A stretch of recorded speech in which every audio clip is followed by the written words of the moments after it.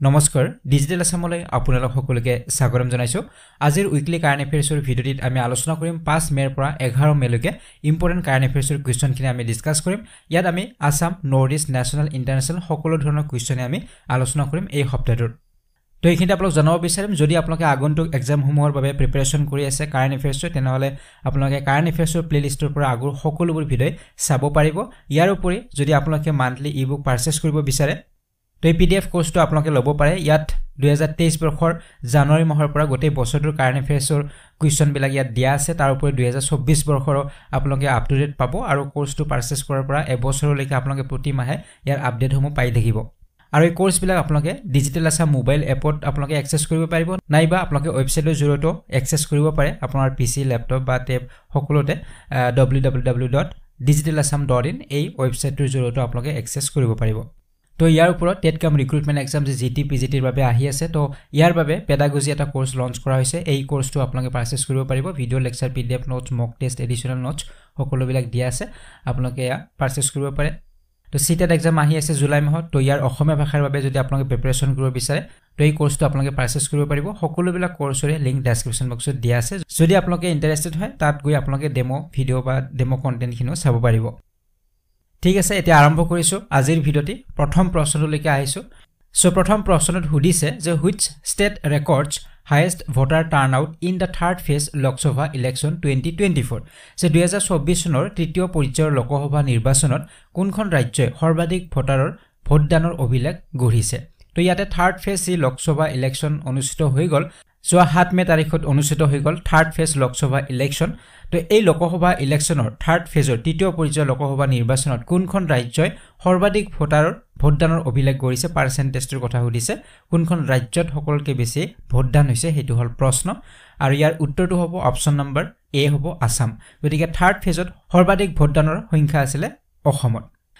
চ' ইয়াত অকল থাৰ্ড ফেজৰ কথা সুধিছে। আমি অলৰেডি আলোচনা কৰিছোঁ ফাৰ্ষ্ট ফেজৰ কথা আলোচনা কৰিছোঁ ছেকেণ্ড ফেজৰ কথাও আলোচনা কৰিছোঁ আৰু ইয়াতে হৈছে থাৰ্ড ফেজ গতিকে থাৰ্ড ফেজৰ যদি কথা আমাক সোধে তেনেহ'লে অল অভাৰ ইণ্ডিয়াত থাৰ্ড ফেজত যিটো ভোটাৰ টাৰ্ণ আউট হৈছে সেইটো sixty four point four percent ভোটাৰে ভোটদান কৰিছে অল অভাৰ ইণ্ডিয়াত আৰু আমাৰ ৰাজ্যসমূহৰ ভিতৰত কোনখন ৰাজ্যত সৰ্বাধিক হৈছে বুলি যদি সোধে তেনেহ'লে আছাম হ'ব। Assam recorded highest turn out আৰু পাৰ্চেণ্টেজটো হৈছে eighty one point six one percent হৈছে আমাৰ অসমৰ থাৰ্ড ফেজৰ আৰু একেবাৰে লৱেষ্ট যদি টাৰ্ণ আউট বুলি যদি সোধে থাৰ্ড ফেজৰ তেনেহ'লে হ'ব উত্তৰ প্ৰদেশ আৰু ইয়াৰ পাৰ্চেণ্টেজটো হৈছে fifty seven point three four percent গতিকে উত্তৰ প্ৰদেশৰ লৱেষ্ট টাৰ্ণ আউট হৈছে সকলোতকৈ কম হৈছে fifty seven point three four percent ব্যক্তিয়ে ভোটদান কৰিছে।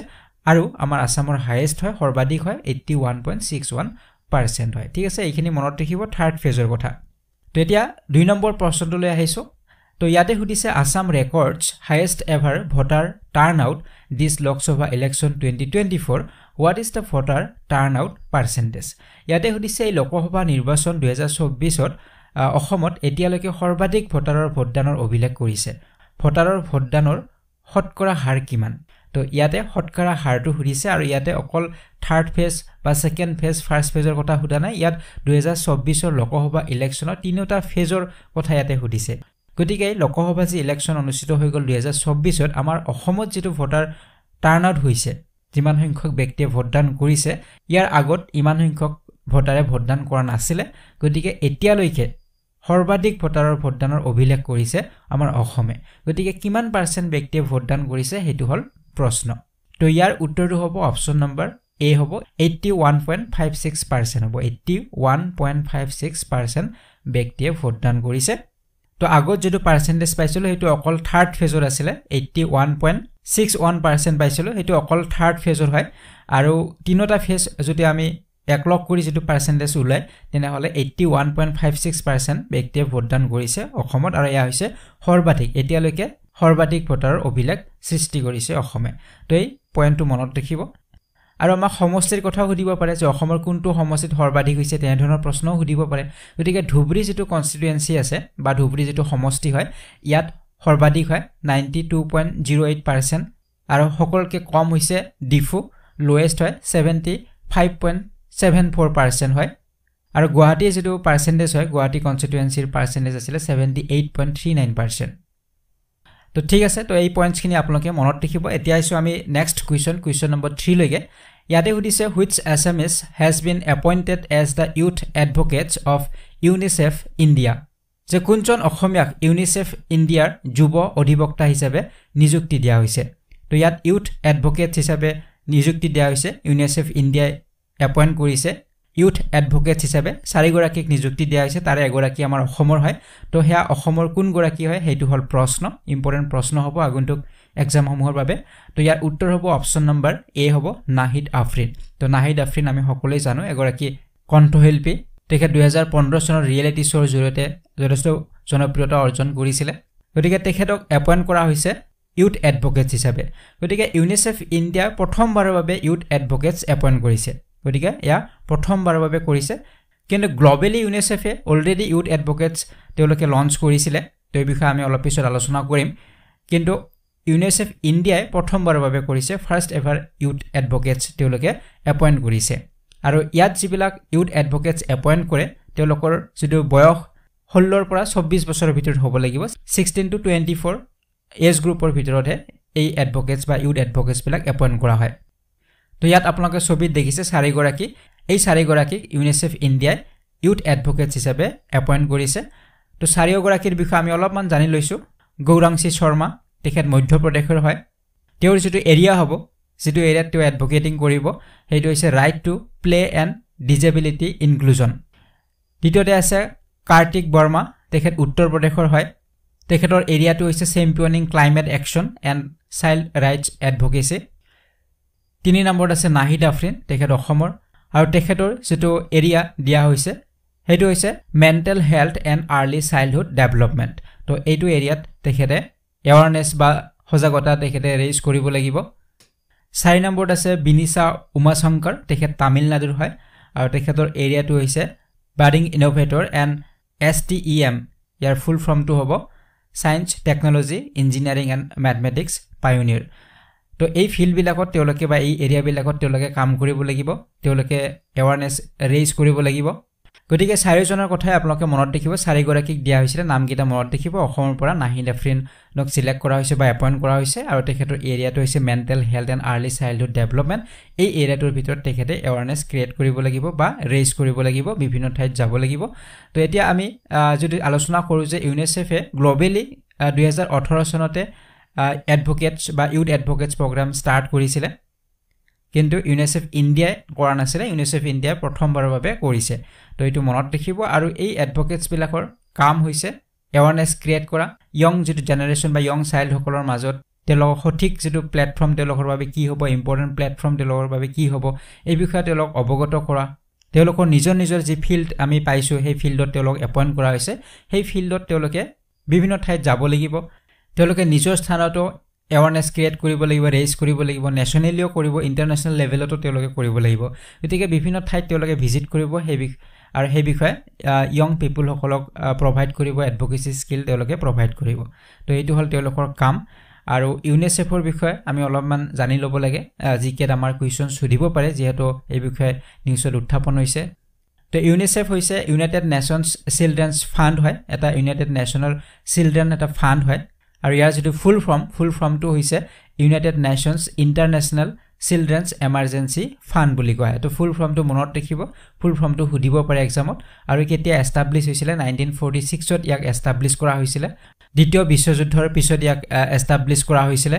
তো ইয়াৰ উদ্দেশ্য আছিলে এষ্টাব্লিছ কৰাৰ উদ্দেশ্য আছিলে ৱৰ্ল্ড ৱাৰৰ পিছত যিবিলাক চিলড্ৰেন এই চিলড্ৰেনসকলক বিভিন্ন এছিষ্টেঞ্চ সুবিধা প্ৰদান কৰাৰ বাবে সাহাৰ্য প্ৰদান কৰাৰ বাবে ইয়াক গঠন কৰা হৈছিলে ইউনিচেফ তো ইয়াৰ পৰা মনত ৰাখিব নাইনটিন ফিফটি থ্ৰীত ইউনিচেফক পাৰ্মানেণ্ট বডি হিচাপে গঠন কৰা হয়। ইউনাইটেড নেশ্যনৰ পাৰ্মানেণ্ট বডি হিচাপে গঠন কৰা হৈছিলে নাইনটিন ফিফটি থ্ৰীত আৰু ইয়াৰ নামটোও সলনি কৰা হয় ইউনাইটেড নেশ্যন চিলড্ৰেনছ ফাণ্ড হিচাপে। তো এইখিনি মনত ৰাখিব আৰু ইয়াৰ যিটো হেড কোৱাৰ্টাৰ ক'ড বুলি সুধিলে নিউয়ৰ্কত হৈছে ইয়াৰ হেড কোৱাৰ্টাৰ তো এতিয়া আহিছোঁ নেক্সট কুৱেশ্যন ইয়াৰ লগত জড়িত এটা কুৱেশ্যন হয়। এই প্ৰশ্নটোত সুধিছে যে which Bollywood actress has been appointed as the national brand ambassador of UNICEF India তো কোনগৰাকীয়ে বলিউড অভিনেত্ৰীক ইউনিচেফ ইণ্ডিয়াৰ ৰাষ্ট্ৰীয় ব্ৰেণ্ড এম্বেচেডাৰ হিচাপে নিযুক্তি দিয়া হৈছে। তো আমি যিদৰে পালোঁ যে ইউনিচেফ ইণ্ডিয়াই ইউথ এডভকেটছ চাৰিগৰাকী নিযুক্তি দিছে ঠিক তেনেদৰে ব্ৰেণ্ড এম্বেচেডাৰো নেশ্যনেল ব্ৰেণ্ড এম্বেচেডাৰো নিযুক্তি দিছে। তো এইটো প্ৰশ্ন সুধিব পাৰে কোনগৰাকী বলিউড অভিনেত্ৰীক দিয়া হৈছে এই দায়িত্ব। আৰু ইয়াৰ উত্তৰটো হ'ব অপশ্যন নম্বৰ বি হ'ব কৰিণা কাপুৰ খান। তো কৰিণা কাপুৰক দিয়া হৈছে এই দায়িত্ব বা নেশ্যনেল ৰাষ্ট্ৰীয় ব্ৰেণ্ড এম্বেচেডাৰ হিচাপে নিযুক্তি দিয়া হৈছে ইউনিচেফ ইণ্ডিয়াৰ দ্বাৰা। তো ইয়াৰ পূৰ্বেও তেখেত জড়িত হয় ইউনিচেফৰ লগত জড়িত হয়। তেওঁক চেলিব্ৰিটি এডভকেট হিচাপে নিযুক্তি দিয়া হৈছিলে। তেওঁ চেলিব্ৰিটি এডভকেট হিচাপে ইয়াৰ পূৰ্বে তেওঁ কাম কৰিছে। তেওঁ দুহেজাৰ চৈধ্য চনৰ পৰাই ইয়াৰ লগত জড়িত হৈ আছে এই সংস্থাটোৰ লগত জড়িত হৈ আছে। তো ইয়াৰ আগত তেখেতে চেলিব্ৰিটি এডভকেট হিচাপে কাম কৰিছিলে এইবাৰ নেশ্যনেল ব্ৰেণ্ড এম্বেচেডৰ হিচাপে তেখেতে কাম কৰিব। তো চেলিব্ৰিটি এডভকেটছবিলাকৰ কি কাম আছিলে? তেওঁলোকক তেনেধৰণে ভইচ ৰেইজ কৰিব লাগে এৱাৰনেছ ক্ৰিয়েট কৰিব লাগে বিভিন্ন ধৰণৰ কেম্পেইনছবিলাক কৰিব লাগে এৱাৰনেছ ৰেইজ কৰিব লাগিব। যেনে ধৰক এডুকেশ্যনৰ ক্ষেত্ৰত হওক নিউট্ৰিশ্যনৰ ক্ষেত্ৰত হওক চাইল্ড প্ৰটেকশ্যনৰ ক্ষেত্ৰত হওক। তো এইবিলাক ইছ্যুবিলাকৰ ওপৰত তেওঁলোকে ভইচ ৰেইজ কৰিব লাগে বা এৱাৰনেছ ক্ৰিয়েট কৰিব লগা হয়। চিল চিলড্ৰেনৰ এডুকেশ্যনৰ ওপৰত বা নিউট্ৰিশ্যনৰ ওপৰত বা চাইল্ড প্ৰটেকশ্যনৰ ওপৰত। তো এয়া হৈছে চেলিব্ৰিটি এডভকেটৰ কাম আছিলে। আৰু এতিয়া নতুন যি দায়িত্ব তেখেতক দিয়া হৈছে এয়া হৈছে নেশ্যনেল এম্বেচেডাৰৰ দায়িত্ব। গতিকে তেখেত এতিয়া ইণ্ডিয়া বা গ্ল'বেলিও তেখেতে কাম কৰিব লাগিব। বিভিন্ন কেম্পেইন বা এৱাৰনেছৰ ক্ষেত্ৰত তেখেতে গ্ল'বেলিও আৰু ইণ্ডিয়াৰ ভিতৰতো কাম কৰিব লাগিব গ্ল'বেলিও কাম কৰিব লাগিব। ঠিক আছে তো এতিয়া আহিছোঁ নেক্সট কুৱেশ্যন কুৱেশ্যন নম্বৰ ফাইভলৈকে ইয়াতে সুধিছে which women team clinched the title of sixteen national sub junior roll ball championship যে ষোল্ল সংখ্যক যি ৰাষ্ট্ৰীয় ছাব জুনিয়ৰ ৰোল বল চেম্পিয়নশ্বিপত কোনটো মহিলা দলে খিতাপ দখল কৰিছে? তো সেইটো হ'ল প্ৰশ্ন। তো ৰিচেণ্টলি অনুষ্ঠিত হৈ গ'ল। তো ছিক্সটিন সংখ্যক ৰাষ্ট্ৰীয় ছাব জুনিয়ৰ ৰোল বল চেম্পিয়নশ্বিপত মহিলাৰ দল এটাই খিতাপ বা টাইটেল লাভ কৰিছে। কোনে কোনটো দলে লাভ কৰিছে সেইটো হ'ল প্ৰশ্ন। আৰু ইয়াৰ উত্তৰটো হ'ব অপশ্যন নম্বৰ চি আছাম গতিকে অসমৰ মহিলা দলটোৱে sixteen national sub junior roll ball চেম্পিয়নশ্বিপত খিতাপ দখল কৰিছে টাইটেল লাভ কৰিছে। তো ছিক্সটিন যি national junior roll ball championship আছিলে এয়া যিখন ফাইনেল মেটচ আছিলে এয়া আঠাইছ এপ্ৰিল তাৰিখত অনুষ্ঠিত হৈছিলে আৰু অসমৰ মহিলাৰ যিটো দল এই দলটোৱে তামিলনাডুৰ দলটোক ফাইনেলত হৰুৱাইছে। ন তিনি গলত তেওঁলোকক হৰুৱাইছে আৰু এই খিতাপ দখল কৰিবলৈ সক্ষম হৈছে। তো ইয়াৰ উপৰি যিটো বয়েজ কেটেগৰীত পুৰুষৰ যিটো কেটেগৰী আছিলে তাত অসমে ব্ৰঞ্জৰ ব্ৰঞ্জ লাভ কৰিছে। ইয়াত উত্তৰ প্ৰদেশৰ লগত ছেমি ফাইনেলত পৰাজিত হৈছে আমাৰ অসম। অসমৰ যিটো বয়েজ দল আছিলে টীম আছিলে গতিকে অসমৰ বয়েজ টীমটোৱে ব্ৰঞ্জ লাভ কৰিছে আৰু অমেনৰ যিটো টীম আছিলে এই টীমটোৱে লাভ কৰিছে টাইটেল লাভ কৰিছে খিতাপ লাভ কৰিছে বা ফাইনেল তেওঁলোকে লাভ কৰিছে।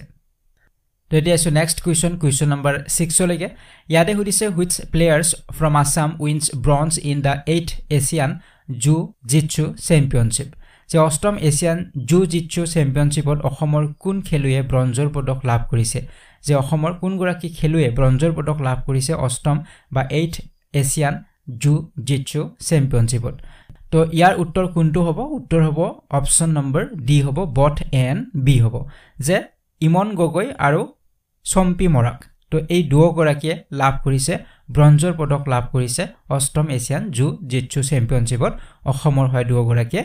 ইমন গগৈ আৰু চাম্পী মৰাক। তো এই দুয়োগৰাকীয়ে লাভ কৰিছে ব্ৰঞ্জ লাভ কৰিছে। কেটেগৰীবিলাক বেলেগ বেলেগ আছিলে কিন্তু দুয়োগৰাকীয়ে বেলেগ বেলেগ কেটেগৰীত ব্ৰঞ্জৰ পদক লাভ কৰিছে।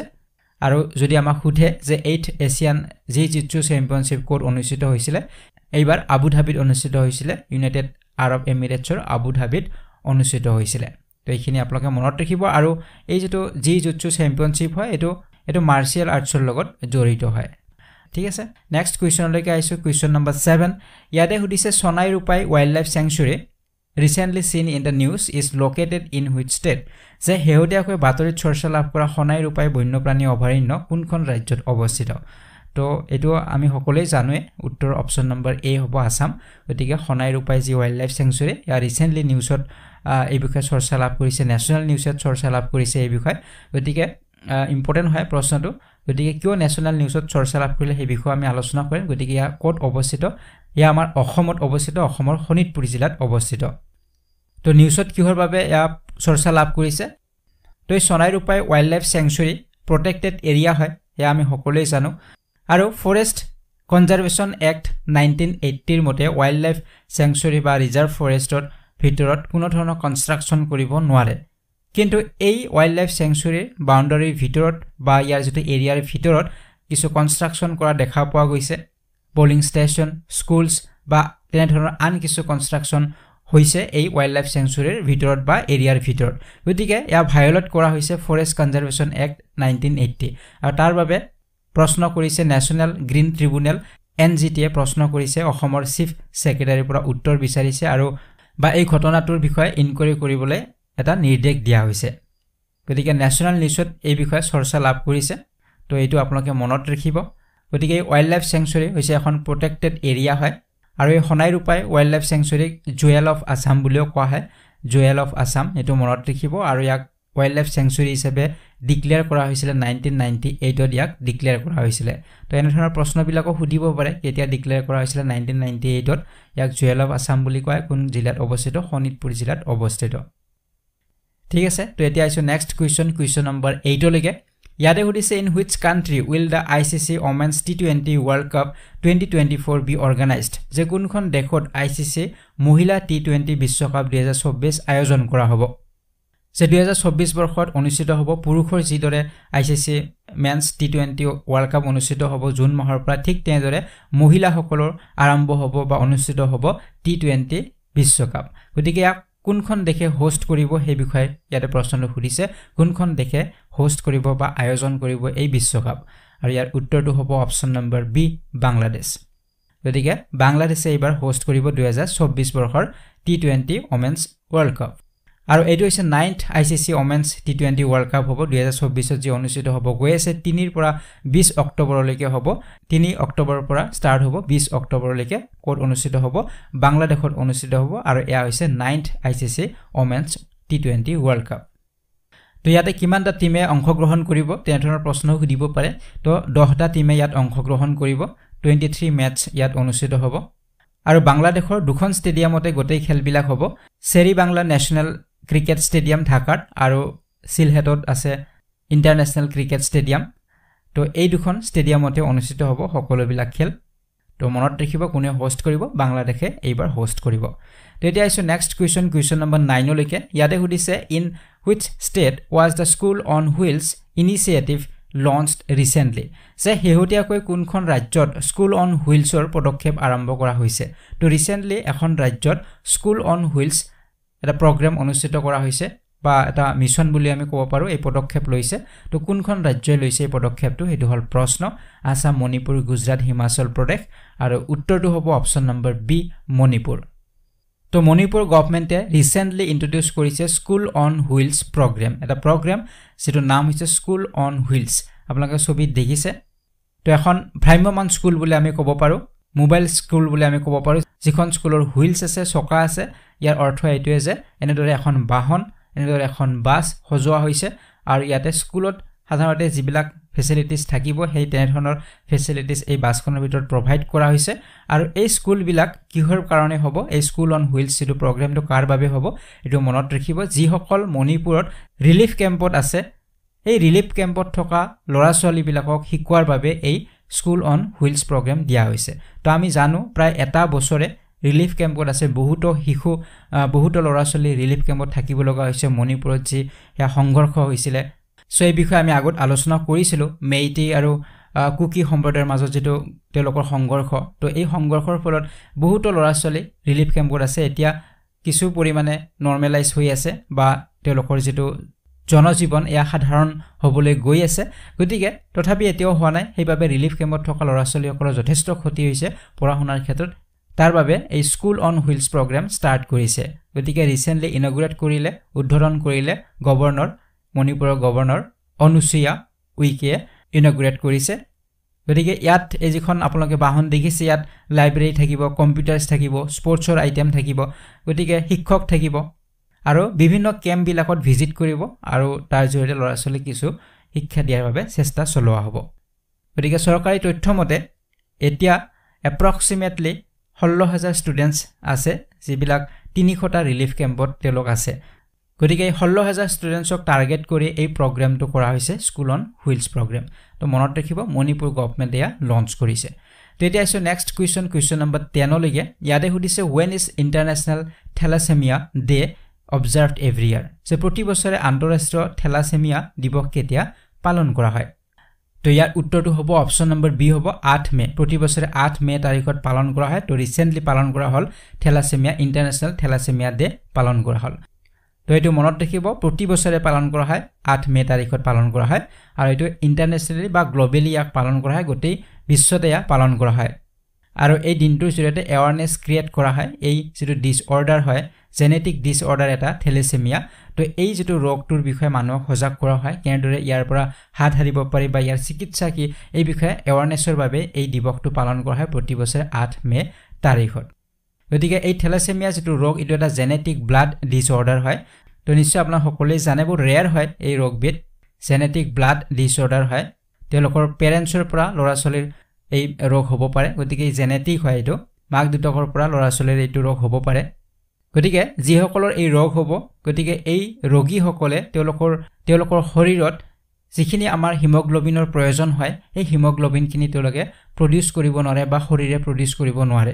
গতিকে তাৰ অভাৱত আমাৰ কি হয় তেজৰ পৰিমাণ আমাৰ কমি যাব। গতিকে সেইকাৰণে এই ৰোগীসকলক তেজ দিব লগা হয়। যিহেতু তেওঁলোকৰ শৰীৰত তেজৰ সৃষ্টি নহয় উৎপাদন নহয়। গতিকে সেয়া তেওঁৰ কণ্ডিশ্যনটোৰ ওপৰত ডিপেণ্ড কৰিব কিমান দিনৰ মূৰত তেওঁক তেজ দিব লগা হ'ব। হয়তো কাৰোবাৰ এমাহৰ মূৰতো দিব লাগিব পাৰে এসপ্তাহৰ মূৰতো দিব লাগিব পাৰে তো সেইটো ডিপেণ্ড কৰিব সেই ৰোগীগৰাকীৰ ওপৰত। তো ইয়াতে মনত ৰাখিব যে পেনছ এংলেছছ তেখেত আছিলে ফাউণ্ডাৰ আছিলে থেলাচেমিয়া ইণ্টাৰনেশ্যনেল ফেডাৰেশ্যনৰ তেখেত ফাউণ্ডাৰ আছিলে প্ৰতিষ্ঠাপক আছিলে। আৰু তেখেতে নাইনটিন নাইণ্টি ফ'ৰত এষ্টাব্লিছ কৰিছিলে ৱৰ্ল্ড থেলাচেমিয়া ডে তেখেতে এষ্টাব্লিছ কৰিছিলে। আৰু কাৰ স্মৃতিত তেওঁৰ পুত্ৰ জৰ্জৰ স্মৃতিত তেখেতে এই দিৱসটো পালন কৰে। আৰু কাৰণ তেখেতৰ মৃত্যু হৈছিলে এই ৰোগতে তেখেতৰ মৃত্যু হৈছিলে তেওঁৰ পুত্ৰৰ মৃত্যু হৈছিলে থেলাচেমিয়া ৰোগত। সেইকাৰণে তেখেতে নাইনটিন নাইণ্টি ফ'ৰত এষ্টাব্লিছ কৰিছিলে ৱৰ্ল্ড থেলাচেমিয়া ডে যাতে ইয়াৰ জৰিয়তে এটা সজাগতা ক্ৰিয়েট হ'ব বহুতো শিশু ইয়াৰ পৰা বাচিব পাৰিব এই ৰোগৰ পৰা হাত সাৰিব পাৰিব বা সময়ত তেওঁলোকে চিকিৎসা লাভ কৰিলে তেওঁলোকে মৃত্যুৰ পৰা হাত সাৰিব পাৰিব গতিকে সেই উদ্দেশ্যৰে এই ডে পালন কৰা হয়। আৰু এই বছৰৰ যিটো থিম আছিলে থেলাচেমিয়া ডেৰ থিম এইটো আছিলে empowering lives embracing progress equitable and accessible thalassemia treatment for all গতিকে এই বছৰ গুৰুত্ব দিয়া হৈছে থেলাচেমিয়া ট্ৰিটমেণ্টৰ ওপৰত বেছি গুৰুত্ব দিয়া হৈছে ইকুইটেবল এণ্ড এচেচিবল থেলাচেমিয়া গতিকে সকলোৱে যাতে এই ৰোগৰ ট্ৰিটমেণ্ট লাভ কৰিব পাৰে তাৰ ওপৰত গুৰুত্ব দি এই থিমটো এইবাৰ ৰখা হৈছে। ঠিক আছে তো এতিয়া নেক্সট কুৱেশ্যনলৈকে আহিছোঁ কুৱেশ্যন নম্বৰ ইলেভেনলৈকে ইয়াতে সুধিছে which Indian wrestler has been banned by the global governing body of wrestling যে ভাৰতীয় কোনজন মল্লযুঁজাৰুৰ বিশ্বব্যাপী মল্লযুঁজৰ শাসক সংস্থাই নিষেধাজ্ঞা আৰোপ কৰিছে। তো ৰিচেণ্টলি আমাৰ ভাৰতৰ এগৰাকী ৰেচলাৰ হয় মল্লযোদ্ধা তেখেতক বেন কৰা হৈছে তেখেতক নিষেধাজ্ঞা আৰোপ কৰা হৈছে গ্ল'বেল গভৰ্ণিং বডিৰ দ্বাৰা। তো কোনগৰাকী ভাৰতীয় মল্লযুঁজাৰুক নিষেধাজ্ঞা আৰোপ কৰা হৈছে সেইটো হ'ল প্ৰশ্ন। আৰু ইয়াৰ উত্তৰটো হ'ব option number C Bajrang Punia. গতিকে বজৰং পুনিয়াক নিষেধাজ্ঞা আৰোপ কৰিছে ইউনাইটেড ৱৰ্ল্ড ৰেচলিঙে তেওঁক নিষেধাজ্ঞা আৰোপ কৰিছে। তো বজৰং পুনিয়াৰ বিষয়ে আমি সকলোৱে জানো টকিঅ' টকিঅ' অলিম্পিকৰ ব্ৰঞ্জ মেডেলিষ্ট হয় তেখেতে। আৰু তেখেতক ছাছপেণ্ড কৰা হৈছে একত্ৰিছ ডিচেম্বৰ দুহেজাৰ চৌব্বিছৰ একত্ৰিছ ডিচেম্বৰলৈকে তেখেতক ছাছপেণ্ড কৰা হৈছে। তো এইখিনিৰ ভিতৰত তেখেত আৰু কোনো তেনেধৰণৰ খেল খেলিব নোৱাৰিব বা অংশগ্ৰহণ কৰিব নোৱাৰিব। তো তেওঁৰ ছাছপেনশ্যনৰ কাৰণটো কি হয়? কিয় ছাছপেণ্ড কৰা হ'ল? কিয় তেওঁক নিষেধাজ্ঞা আৰোপ কৰা হৈছে? তো ইয়াৰ কাৰণটো হৈছে national anti doping agency of India যাক আমি নাডা বুলি কওঁ। চ' তেওঁলোকে ছাছপেণ্ড কৰিছিলে বজৰং পুনিয়াক তেইছ এপ্ৰিল দুহেজাৰ চৌব্বিছত। যেতিয়া বজৰং পুনিয়া ৰিফিউজ কৰিছিলে চেম্পুল দিয়াৰ বাবে। চ' এণ্টি ডপ যিটো টেষ্ট হয় এথলিটসকলৰ এণ্টি ডপ টেষ্ট হয় তেওঁলোকৰ শৰীৰত ড্ৰাগছৰ পৰিমাণ মেজাৰ কৰাৰ বাবে। গতিকে এই এণ্টি ডপ টেষ্ট খেলুৱৈসকলে দিবই লাগিব। আৰু যেতিয়া নেশ্যনেল এণ্টি ডপিং এজেঞ্চিয়ে এইটো বিচাৰিছিলে চেম্পুল বিচাৰিছিলে তেতিয়া তেওঁ ৰিফিউজ কৰিছিলে তেওঁ দিব বিচৰা নাছিলে চেম্পুল তো তাৰ কাৰণে তেইছ এপ্ৰিল তাৰিখত তেখেতক ছাছপেণ্ড কৰা হৈছিলে নাডাৰ দ্বাৰা গতিকে দহ মাৰ্চ দুহেজাৰ চৌব্বিছত তেখেতৰ পৰা বিচৰা হৈছিলে চেম্পুল বিচৰা হৈছিলে। হাৰিয়ানাত যেতিয়া চিলেকশ্যন হৈ আছিলে চিলেকশ্যন ট্ৰায়েলছ হৈ আছিলে হাৰিয়ানাত তো তেতিয়া তেওঁৰ পৰা বিচৰা হৈছিলে। কিন্তু কিন্তু তেওঁ দিবলৈ অস্বীকাৰ কৰিছিলে। তো ইয়াৰ পিছত তেখেতক আকৌ পুনৰ ন'টিছ পঠোৱা হৈছিলে। সাত মে' তাৰিখৰ ভিতৰত তেখেতক ৰিপ্লাই দিবলৈ কোৱা হৈছিলে কিন্তু তাৰ ৰিপ্লাইও তেখেতে নিদিলে আৰু যাৰ বাবে তেখেতক ফাইনেলি ইউনাইটেড ৱৰ্ল্ড ৰেচলিঙে ছাছপেণ্ড কৰিলে একত্ৰিছ ডিচেম্বৰ দুহেজাৰ চৌব্বিছলৈকে। এতিয়া যদি নাদাই এই যিখিনি এলিগেশ্যন বা তেওঁৰ ওপৰত যি অভিযোগ বা চাৰ্জেছ লগাইছে সেইখিনি যদি ক্লিয়াৰ কৰে তেনেহ'লে তেওঁ হয়তো আগন্তুক যি আমাৰ পেৰিছ অলিম্পিক অনুষ্ঠিত হ'ব জুলাইৰ পৰা ছাব্বিছ জুলাইৰ পৰা তো তাত তেওঁ অংশগ্ৰহণ কৰিব পাৰিব আৰু যদি নকৰে তেনেহ'লে তেওঁ অংশগ্ৰহণ কৰিব নোৱাৰিব। ঠিক আছে? তো এতিয়া আহিছোঁ নেক্সট কুৱেশ্যন কুৱেশ্যন নম্বৰ টুৱেলভলৈকে ইয়াতে হৈছে when is world red cross and red crescent day observed যে বিশ্ব ৰেড ক্ৰছ আৰু ৰেড ক্ৰিচেণ্ট দিৱস কেতিয়া পালন কৰা হয়? তো ৰিচেণ্টলি পালন কৰা হ'লে এই দিৱসটি তো কেতিয়া পালন কৰা হৈছে? সেয়া হৈছে আঠ মে' তাৰিখত পালন কৰা হৈছে। গতিকে প্ৰতি বছৰে আঠ মে' তাৰিখত পালন কৰা হয় ৱৰ্ল্ড ৰেড ক্ৰছ ডে পালন কৰা হয়। আৰু এই দিনটোতে কিয় পালন কৰা হয়? কাৰণ এইটো হৈছে হেনৰি ডোনাল্টৰ বাৰ্থ এনিভাৰ্চেৰী হয় জন্ম বাৰ্ষিকী হয়। আৰু তেখেত আছিলে ফাউণ্ডাৰ আছিলে international committee of the red ক্ৰছৰ I C R চিৰে তেখেত ফাউণ্ডাৰ আছিলে আৰু তেওঁৰ জন্মদিনটোতে ৰেড ক্ৰছ ডে হিচাপে পালন কৰা হয় আঠ মে' তাৰিখত। গতিকে হেনৰি ডোনাল্টৰ জন্ম হৈছিলে এইটিন টুৱেণ্টি এইটৰ এইট মে' তাৰিখত জিনেভা ছুইজাৰলেণ্ডত তেওঁৰ জন্ম হৈছিলে। তো সেইকাৰণে তেওঁৰ জন্মদিনটোতে পালন কৰা হয় ৰেড ক্ৰছ ডে হিচাপে। তো ইয়াৰ পৰা মনত ৰাখিব হেনৰি ডোনাল্ড আছিলে প্ৰথমগৰাকী নবেল পিছ প্ৰাইজ লাভ কৰা ব্যক্তি। ঊনৈছশ এক চনত তেখেতে লাভ কৰিছিলে শান্তিৰ নবেল বঁটা লাভ কৰিছিলে আৰু তেখেত আছিলে প্ৰথমগৰাকী শান্তিৰ নবেল বঁটা লাভ কৰা ব্যক্তি। তো annual international red cross day যে প্ৰতি বছৰে ইণ্টাৰনেশ্যনেল ৰেড ক্ৰছ ডে পালন কৰা হ'ব এইটো কেতিয়া এডপ্ট কৰা হৈছিল বা এই প্ৰপ'জেলটো কেতিয়া দিয়া হৈছিলে নাইনটিন ফৰ্টি এইটত। আৰু প্ৰথম চেলিব্ৰেশ্যনটো হৈছিলে নাইনটিন ফৰ্টি এইটত এইট মে' তাৰিখতে প্ৰথম চেলিব্ৰেশ্যন হৈছিলে। আৰু সময়ৰ হাতত ইয়াৰ যিটো টাইটেল ইয়াৰ টাইটেলটো সলনি হৈছে। নাইনটিন ফৰ্টি এইটত ইয়াক ইণ্টাৰনেশ্যনেল ৰেড ক্ৰছ ডে হিচাপে জনা গৈছিলে। আৰু এতিয়া world red cross and red crescent day হিচাপে ইয়াক জনা যায়। ঠিক আছে? নেক্সট কুৱেশ্যনলৈকে আহিছোঁ কুৱেশ্যন নম্বৰ থাৰ্টিনলৈকে ইয়াতে সুধিছে how many countries representatives participated in the international election visitors program hosted by the election commission of India যে ভাৰতৰ নিৰ্বাচন আয়োগে আয়োজন কৰা আন্তঃৰাষ্ট্ৰীয় নিৰ্বাচনী পৰিদৰ্শক কাৰ্যসূচীত কিমানখন দেশৰ প্ৰতিনিধিয়ে অংশগ্ৰহণ কৰিছিলে। তো ৰিচেণ্টলি আমাৰ ইণ্ডিয়াৰ ইলেকশ্যন কমিশ্যনে হোষ্ট কৰিছিলে এটা প্ৰগ্ৰেম আৰু এই প্ৰগ্ৰেমটোত বিভিন্ন কাণ্ট্ৰিৰ বেলেগ বেলেগ কাণ্ট্ৰিৰ প্ৰতিনিধিবিলাকে আমাৰ যি নিৰ্বাচন চলি আছিলে লোকসভা সেয়া ভিজিট কৰিছিলে। এই নিৰ্বাচনৰ বিষয়ে তেওঁলোকে চাইছে তেওঁলোকে অবজাৰ্ভ কৰিছে। তাৰ বাবে এটা প্ৰগ্ৰেম কৰা হৈছিলে ইণ্টাৰনেশ্যনেল ইলেকশ্যন ভিজিটৰ্ছ প্ৰগ্ৰেম আৰু এয়া হোষ্ট কৰিছিলে ইণ্ডিয়াৰ ইলেকশ্যন কমিশ্যনে গতিকে প্ৰশ্নত সুধিছে যে কিমানখন কাণ্ট্ৰিৰ কিমানখন দেশৰ ৰিপ্ৰেজেণ্টেটিভ বা প্ৰতিনিধিয়ে অংশগ্ৰহণ কৰিছিলে এই প্ৰগ্ৰেমত তো ইয়াৰ উত্তৰটো হ'ব অপশ্যন নম্বৰ বি হ'ব টুৱেণ্টি থ্ৰী হ'ব। ঠিক আছে তেইছখন কাণ্ট্ৰিৰ আৰু ছেভেণ্টি ফাইভটো আপোনালোকে মনত ৰাখিব ছেভেণ্টি ফাইভ ডেলিগেটছ আহিছিলে প্ৰতিনিধি আহিছিলে ছেভেণ্টি ফাইভ কিন্তু কাণ্ট্ৰি আছিলে টুৱেণ্টি থ্ৰী তেইছখন কাণ্ট্ৰিৰ পৰা ছেভেণ্টি ফাইভ ডেলিগেটছ আহিছিলে। তো দুয়োটাই মনত ৰাখিব যদি ডেলিগেটছৰ কথা সোধে ছেভেণ্টি ফাইভ ডেলিগেটছ হ'ব। আৰু কিমানখন দেশৰ পৰা আহিছিলে বা কিমানখন দেশৰ পৰা পাৰ্টিচিপেট কৰিছিলে টুৱেণ্টি থ্ৰী কাণ্ট্ৰিজৰ পৰা পাৰ্টিচিপেট কৰিছিলে ইণ্টাৰনেশ্যনেল ইলেকশ্যন ভিজিটৰ্ছ প্ৰগ্ৰেমত আৰু কোনে হোষ্ট কৰিছে? ইলেকশ্যন কমিশ্যন অফ ইণ্ডিয়াই হোষ্ট কৰিছে। আৰু চিফ ইলেকশ্যন কমিশ্যনাৰ কোন হয়? এইটো মনত ৰাখিব। ৰাজীৱ কুমাৰ হয় চিফ ইলেকশ্যন কমিশ্যনাৰ তো এইটো আপোনালোকে মনত ৰাখিব।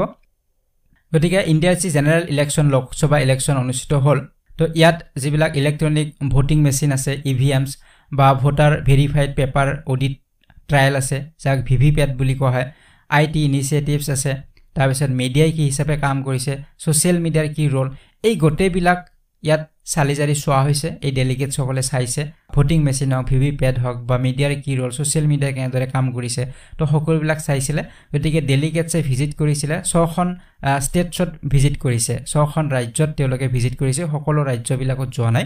গতিকে ছখন ৰাজ্যত এই ডেলিগেটছসকলে অবজাৰ্ভ কৰিছে। বেলেগ বেলেগ কনষ্টিটুৱেঞ্চিত তেওঁলোকে ভিজিট কৰিছে বেলেগ বেলেগ সমষ্টিত তেওঁলোকে গৈছে। গতিকে টোটেল তেইছখন কাণ্ট্ৰিৰ পৰা এই ডেলিগেটছসকল আহিছিলে। ভূটান আছে মংগোলিয়া আছে অষ্ট্ৰেলিয়া আছে মাডাগাস্কাৰ আছে ফিজি আছে। তো এনেদৰে তেইছখন কাণ্ট্ৰিৰ পৰা আহিছে। তো ইয়াৰ উপৰিও কিছু অৰ্গেনাইজেশ্যন যেনে ধৰক international foundation for electoral system তো তেওঁলোকেও পাৰ্টিচিপেট কৰিছে। মিডিয়া টীম আহিছিলে ভূটান আৰু ইজৰাইলৰ পৰা। তো এই সকলোবিলাকে ভিজিট কৰিছিলে। আৰু এই প্ৰগ্ৰেমটোত পাৰ্টিচিপেট কৰিছে ইণ্টাৰনেশ্যনেল ইলেকশ্যন ভিজিটৰ্ছ প্ৰগ্ৰেম তো এইবিলাক পইণ্ট মনত ৰাখিব এইবিলাক এইবিলাক টপিকৰ ওপৰত বিভিন্ন ধৰণৰ প্ৰশ্ন আহিব পাৰে। তো টপিকবিলাকৰ বিষয়ে আমি থুলমূলকৈ ধাৰণা এটা থকাটো ভাল। আৰু ধাৰণাখিনি থাকিলে আমি অপশ্যনছবিলাকৰ পৰা কাৰেক্ট এনচাৰটো চুজ কৰিব পাৰিম। ঠিক আছে তো এতিয়া নেক্সট কুৱেশ্যন কুৱেশ্যন নম্বৰ ফৰ্টিনলৈকে আহিছোঁ। ইয়াতে সুধিছে according to the global electricity review twenty twenty four which country has overtaken Japan to become the world's third largest solar power generator in twenty twenty three যে global electricity review twenty twenty ফ'ৰৰ মতে কোনখন দেশে জাপানক অতিক্ৰম কৰি দুহেজাৰ তেইছ চনত বিশ্বৰ তৃতীয় বৃহত্তম সৌৰশক্তি উৎপাদক হিচাপে পৰিগণিত হৈছে।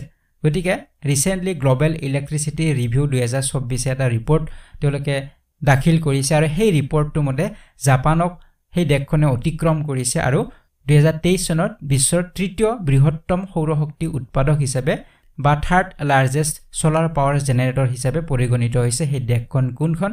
সেইটো হ'ল প্ৰশ্ন উত্তৰ হ'ব অপশ্যন নম্বৰ বি ইণ্ডিয়া। গতিকে ভাৰত হৈছে third largest solar power generator হয় আৰু জাপানক অতিক্ৰম কৰিছে ছ'লাৰ পাৱাৰ জেনেৰেশ্যনৰ ক্ষেত্ৰত। তো এই বিষয়ে অলপমান ডিটেইলছ আমি আলোচনা কৰিম।